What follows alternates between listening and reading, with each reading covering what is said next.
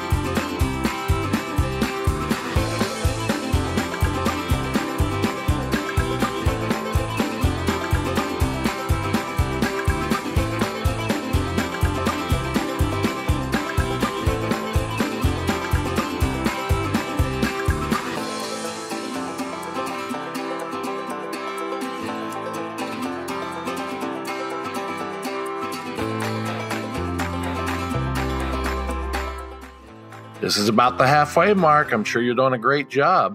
You still have about a minute and a half to go. Uh, so check over your project a little bit. Do you have the right background? Did you have to make any changes to it or change colors or draw your own background? How about your sprites or characters?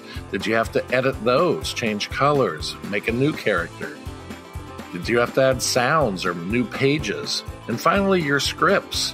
Are your programming blocks making your characters or sprites do what you see on the screen? Check those out. Make some changes if they're not. Best of luck. Doing a great job.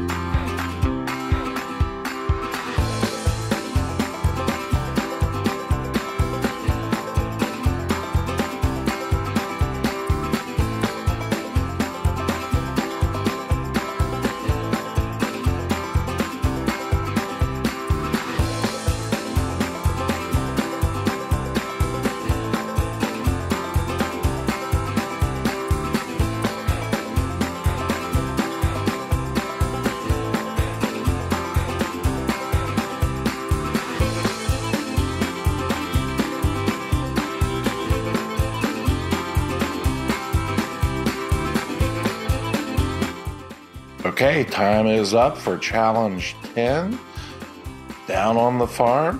Hope you had a great time working on this program. Uh, you had to get a little faster at picking your sprites. This time we had several on screen. So let's look at how this program was made. The first thing we had to do was select our farm after we get rid of our Scratch the Cat character. And so select your farm. Now it's just about getting those sprites on the screen pretty quick. So we're going to pick the piggy, we're going to get that horse, and put those kind of in the positions that they were in. Remember, we also need uh, the barn, we need the girl, and we need the apple. So let's put the girl on the screen. We're going to place her over there. Now, I didn't change any of the um, the paint or the color of any of the items. Uh, we do change their sizes a little bit. And then this last one's going to be the barn. Now, the barn's going to be behind the characters. So you can even maybe even put that on first. That way you don't have to click your character. That makes it come out in front of the barn. So just kind of get it in the spots that they were. Just pull them around, get them to sort of as close to where they were as you can. Doesn't have to be perfect on that. Um, on the girl. She's going to face the left, so click the left arrow move button and then get the apple in her hand. The apple does need to be shrunk down, so I clicked it twice um, when I pulled that down. And the pig, I'm going to shrink down a little bit too. So I'm going to go to my pig character. I'm going to shrink that down. Uh, it also is going to face to the left, so I have to do the same thing I did with the girl character and get that kind of in the position I want it. The pig's going to be going into the barn or make it look like it's going into the barn. So we've done this type of thing before where we're going to move left. So we have our green start flag. We're going to move left on that, and then we're going to use the hide button and it just kind of makes it look like it was walking into the barn. Put the end script on your pig character, and now we're going to go to the horse. Also, use the green flag there, and I'm going to make it wait a little bit. I'm making it wait kind of to let the pig do its thing and go into the barn. So I have 20 on my wait block. And now I'm going to make it go over. Let's test out 10, see how it goes. You can use the grid lines if you'd like. I'm going to make it wait a little bit when it gets to the end before it eats the apple. It's going to send that orange message. The orange message is going to go to the apple, and the apple opens the orange message.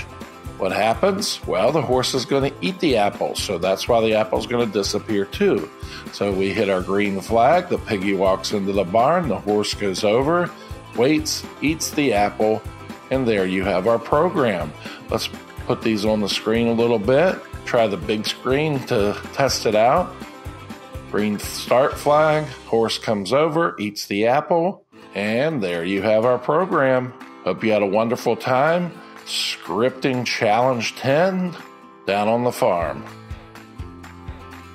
I really appreciate if you like, subscribe, and share below. Have a wonderful day. Until next time.